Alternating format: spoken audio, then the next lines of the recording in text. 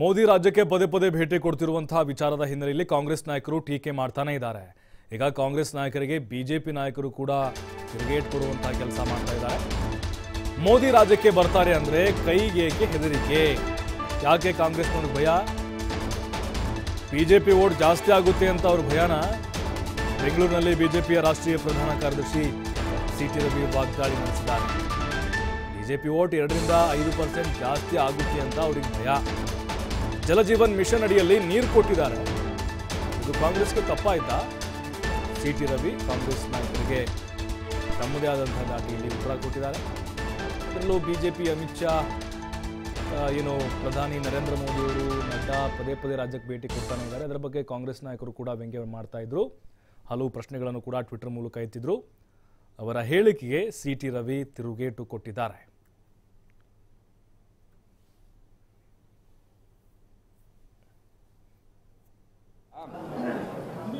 ಮೋದಿಯವರು ಬರ್ತಾರೆ ಅಂದರೆ ಹೆದರಿಕೆ ಯಾಕೆ ಇವರಿಗೆ? ಅಂದರೆ ಇವ್ರಿಗೆ ಗೊತ್ತಿದೆ, ಮೋದಿಯವರ ಒಂದು ಭೇಟಿಯಿಂದ ಕನಿಷ್ಠ ಎರಡು ಪರ್ಸೆಂಟಿಂದ ಐದು ಪರ್ಸೆಂಟ್ ವೋಟ್ ಜಾಸ್ತಿ ಆಗುತ್ತೆ ಬಿ ಜೆ ಪಿಗೆ ಅಂತ. ಅದ್ರ ಭಯಕ್ಕೆ ಅವ್ರು ಹಂಗೆ ಮಾತಾಡ್ತಿದ್ದಾರೆ. ಅವ್ರಿಗೆ ಹೆದರಿಕೆ, ಭಯ. ಈಗ ರಾಮಲಿಂಗಾರೆಡ್ಡಿ ಅವರ ಹೇಳಿಕೆ ನಾನು ಗಮನಿಸಿದೆ. ನಲ್ಲಿ ನೀರು ಬಿಡೋಕ್ಕೂ ಬಿಡ್ತಾರೆ ಅಂತ ಮೂವತ್ತೈದು ಲಕ್ಷ ಮನೆಗಳಿಗೆ ಜಲ್ ಜೀವನ್ ಮಿಷನ್ ಯೋಜನೆ ಅಡಿಯಲ್ಲಿ ನಲ್ಲಿ ಸಂಪರ್ಕ ಕಲ್ಪಿಸಿ ನೀರು ಕೊಟ್ಟಿದ್ದಾರೆ. ತಪ್ಪ? ಕಾಂಗ್ರೆಸ್ನವ್ರ ದೃಷ್ಟಿಯಲ್ಲಿ ತಪ್ಪು. ಬಡವರ ಮನೆಗೆ ಟ್ಯಾಪಲ್ಲಿ ನೀರು ಬಂದರೆ ಇವ್ರಿಗೆ ಹೊಟ್ಟೆ ಉರಿ. ಆದರೆ ಇವ್ರು ಏನೊಂದು ಬಯಸ್ತಾರೆ? ಮತ್ತು ಅವ್ರಿಗೊಂದು ಮಾತು ಹೇಳಕ್ಕೆ ಬಯಸ್ತೇನೆ, ಮೋದಿಯವರು ಬರೀ ಕರ್ನಾಟಕಕ್ಕೆ ಬಂದಿಲ್ಲ. ತಮಿಳ್ನಾಡಿನಲ್ಲಿ ನಮ್ಗೆ ಒಂದು ಎಂ ಪಿ ಸೀಟು ಇಲ್ಲ. ಅಲ್ಲಿಗೂ ಬಂದಿದ್ದಾರೆ.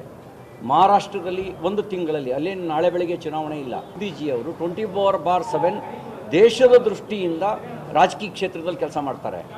ಕೆಲವರು ಇದ್ದಾರೆ ಒಂದು ವಾರ ಕೆಲಸ ಮಾಡ್ತಾರೆ, ಒಂದು ತಿಂಗಳು ರಜಾ ತಗೊಳ್ತಾರೆ. ಅವರಿಗೆ ಕ್ರಿಸ್ಮಸ್ಸಿಗೆ ಒಂದು ದೇಶ ಹಾಗೆಯೇ ಆಷಾಢ ಬಂದರೆ ಇನ್ನೊಂದು ದೇಶ. ಆ ಥರದ ಜಾಯಮಾನದವರು ಮೋದಿ ಅಲ್ಲ. ಮೋದಿಯವರು ದೇಶಕ್ಕಾಗಿ ಒಂದೊಂದು ಕ್ಷಣವನ್ನು ಉಪಯೋಗಿಸ್ತಕ್ಕಂಥ ಒಬ್ಬ ರಾಜಕೀಯ ನೇತ.